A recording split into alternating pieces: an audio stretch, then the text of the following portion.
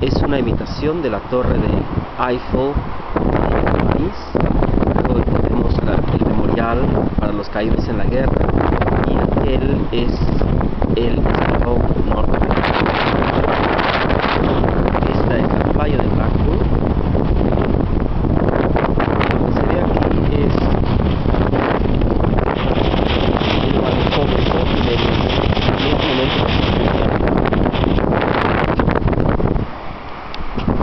Esta avenida que se ve aquí es el equivalente a la avenida costanera en la Costa Verde de Perú. Y aquel hotel que ve que